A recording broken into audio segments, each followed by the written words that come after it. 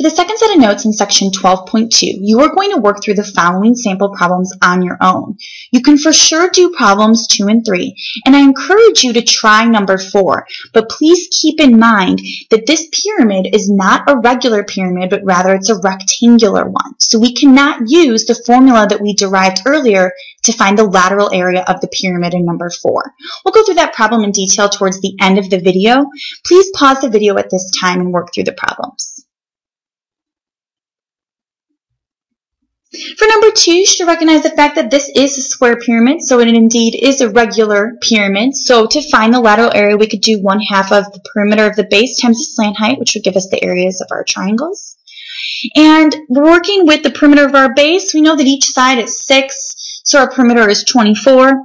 But then to find our slant height, we have to work with a right triangle. Since the altitude or height of the pyramid hits directly at the center of the base, this red segment here is half the length of the side, so it's 3. And then we have a 3, 4, 5 family, making our slant height 5.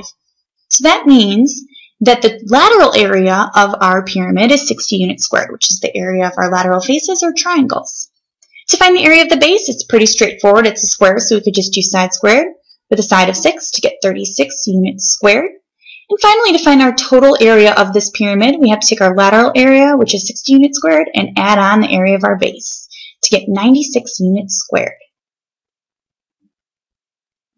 For number three, we're working with a regular hexagonal pyramid. So once again, since this pyramid is regular, to find the lateral area, we could do one half of the perimeter of the base times the slant height.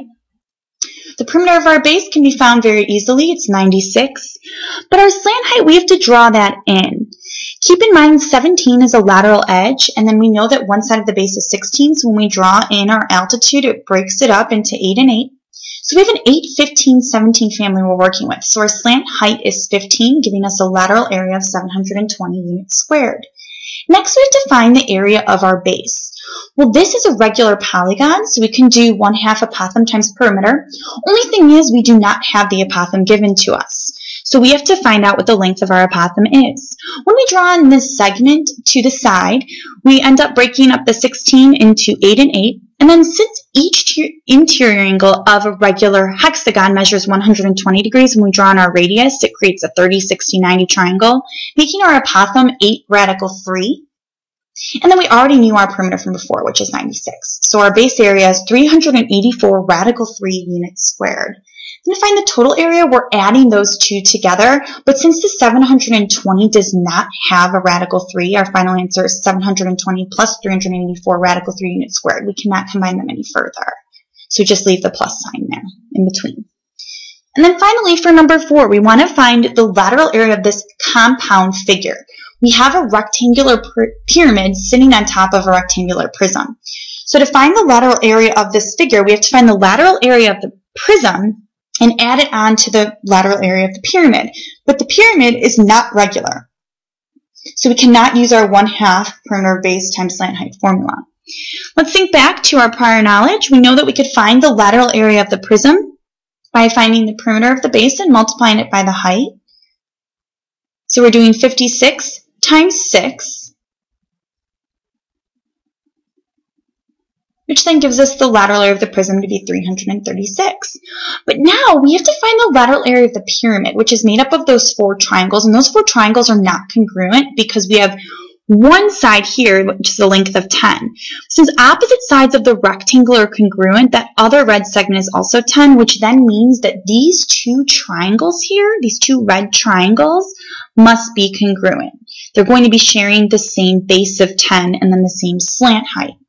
So if we could find the area of one of the red triangles and then multiply it by 2, we'd get the area of both of those red triangles. So we're halfway there. Now we also have this length of 18. So for the triangle in front, that base is 18, and the triangle behind it's the same base, and they share the same slant height also. So those two purple triangles are going to be congruent. So if we could find the area of one purple triangle, multiply it by 2, we have our purple triangles. Now let's find the area of one of the red triangles. We know the base is 10, but we have to find our height. So I drew that in there. Since one side of the rectangle is 18, half of it is 9. So we create a 3, 4, 5 family there, 9, 12, 15, which gives us our height of the red triangle to be 15.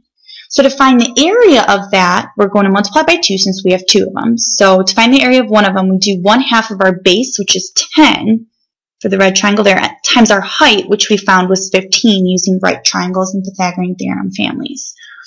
So since we're multiplying it by 2, since there are two triangles, that reduces, and we're just left with 150 for the areas of the red triangles.